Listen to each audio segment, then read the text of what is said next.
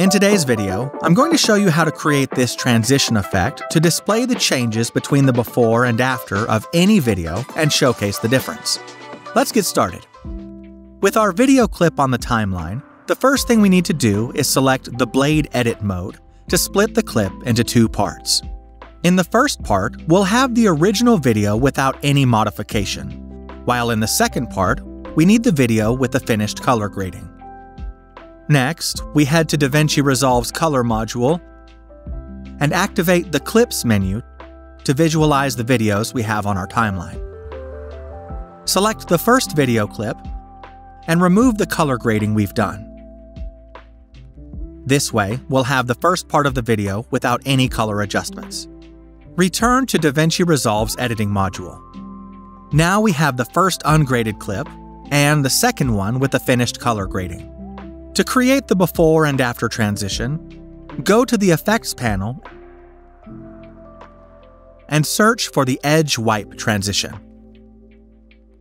Select the effect and apply it to the cut we made earlier. Now we'll have the before and after transition. But, as you can see, the transition goes from bottom to top, so we need to modify it to our preference. The first thing we change is the transition's duration. We can increase or decrease its duration by clicking on the transition edges and dragging it left or right to increase or decrease the duration. To modify the transition settings, click on it and go to the Inspector menu. If you don't see this menu, simply click on Inspector to activate it. Perfect. Here are all the settings. We can start by modifying the transition angle. If we want the effect to go from left to right, we need to set an angle of 90 degrees. As you can see, we'll now have the left to right transition. We can also add a color border to the line to better appreciate the before and after effect.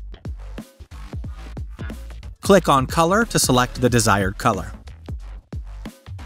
Finally, I recommend adding a speed ramp to the transition to enhance the animation.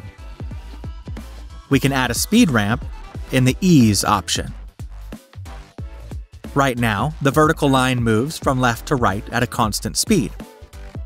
If we want to modify the speed and create a more dynamic animation, we can adjust the speed so that it starts slower and then accelerates, or vice versa. This way, we can achieve a much more professional animation. Expand the Ease menu and select the option you want.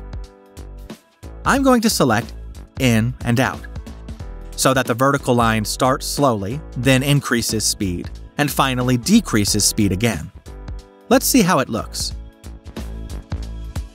And that's all for today. As always, I'll leave you with my complete course on DaVinci Resolve, completely free, where you can learn a lot of new things.